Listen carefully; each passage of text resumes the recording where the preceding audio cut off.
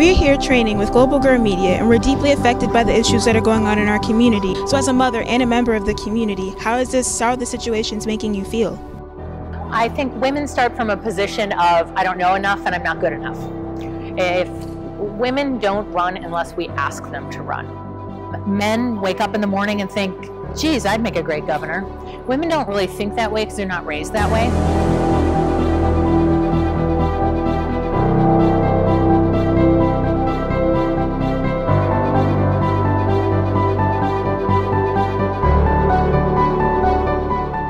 Think that we all agree that Black Lives Matter.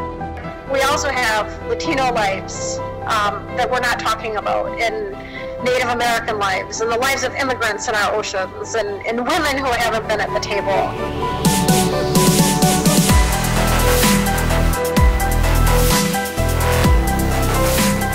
Was really interested in being more politically engaged on campus. Research shows that when women are in elected office, women, families, and children do better. We're not here to play games and uh, see who's the loudest voice uh, on the Senate floor, but to really bring meaning and purpose of the issues that are happening right now.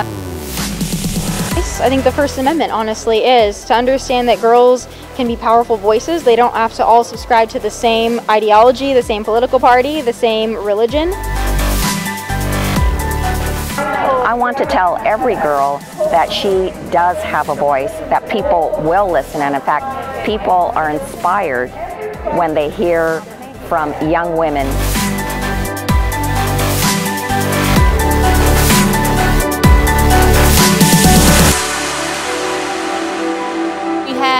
Opportunity if we were to uh, blow this system up, and I don't mean by dynamite, uh, I don't mean by firearms, I'm talking about with our minds.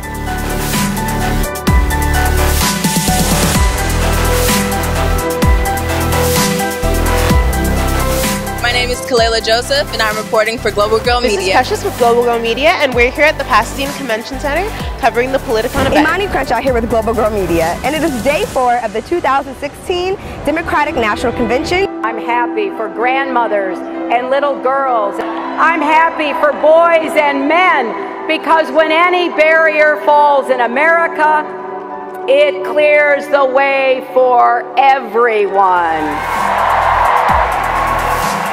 After all, when there are no ceilings, the sky's the limit.